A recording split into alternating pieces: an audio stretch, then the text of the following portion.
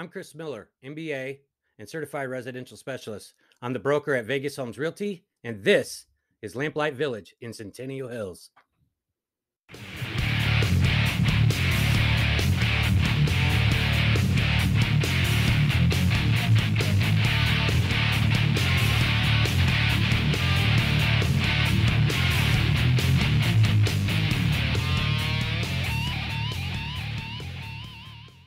Lamplight Village is a gated community with two entrances, walking trails, a rentable community center with full kitchen for large gatherings at the park that has a cute gazebo, playground, sand volleyball, basketball courts, swings, large green area, and a picnic area.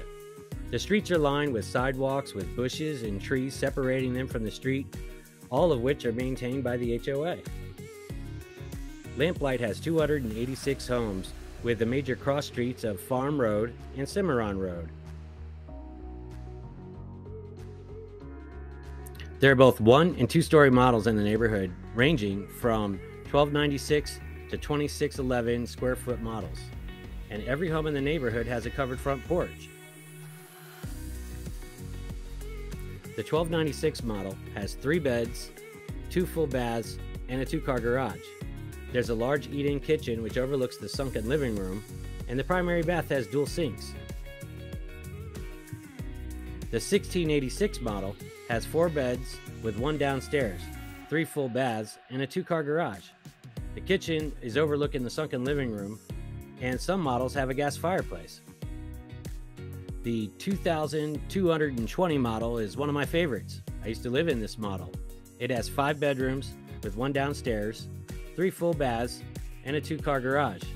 The entry has a sunken living room to one side, and the kitchen is separated by a triangular kitchen island overlooking the sunken family room.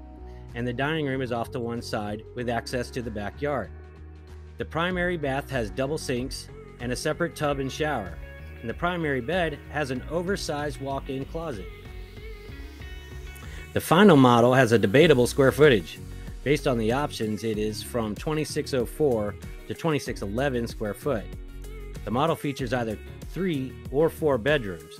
The three bedroom model has really large bedrooms, two primary beds, and the main one is downstairs with his and her sink separated by a large tub. And the upstairs one has dual sinks, but a tub shower combo in the bathroom. The large third bedroom has multiple bay windows. And the four bedroom model splits that big bedroom into two smaller spare beds. Now that you've seen the video, if you are interested in learning more about this community or touring the homes that are available at the time that you watch this video, then contact me directly. My team and I are ready to help you find your home in Lamplight Village. My information is in the description below.